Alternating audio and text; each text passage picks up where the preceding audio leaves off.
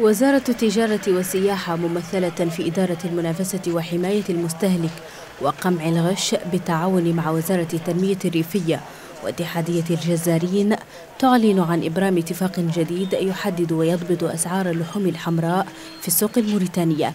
وبحسب إدارة المنافسة وحماية المستهلك وقمع الغش فقد ارتفعت أسعار اللحوم في الأيام الماضية تزامنا مع عيد الأضحى وفصل الصيف وارتفاع الطلب على المواشي من الدول المجاورة مما استدعى تدخل الوزارة. أول شيء عدلناها على أنهم ما تري يزيد الحمل قنم على 2000 وقية ولا وبالنسبة والفلكة ما تزيد على 2000 وقية اللي هو الحمل البقر والحامل بل ما يزيد على 1600 هذه وهذه الاتفاقية هم أنا لاحظت أن البعض يقول على أنه لأن الله هو اللي كان موجود به. واللي اللي اللي يعرف الأسواق في الأسابيع الماضية وشافهم أن إحنا ما فايتنش السوق يوميا والمواطنين يتصلوا بين الشاكين من هذه الوضعية اللي الموجودة.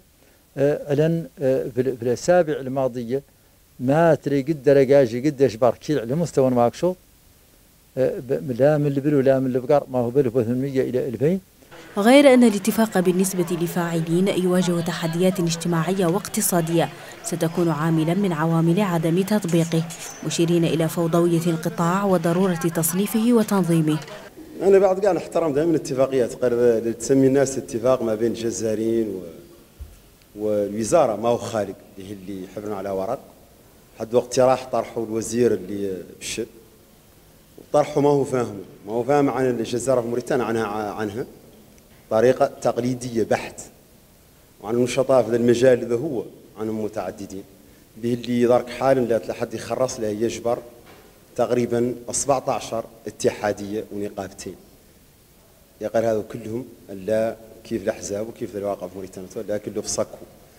آه، آه، قد ترتأت عن لا يتعدى البرنامج بسيط هي حتى الآن ما فات ما فات صنفت اللي قالوا قطاع الجزائري. ما فاتوا صنف كانوا تابع لوزارة آه، التنمية الريفية. كانوا تابع لوزارة التجارة. كانوا تابع لأي شيء يسوى شنو. معناها عن حتى النظام وما فات اصلاح وتعرف اللحوم الحمراء في السوق الموريتانية ارتفاعا يوصف بالكبير مقارنة بالثروة الحيوانية المحلية. وكانت مبادرات أهلية أطلقها نشطاء قد حددت أسعارا للحوم بشكل فردي غير أنها ما لبثت أن عادت لأسعارها الطبيعية.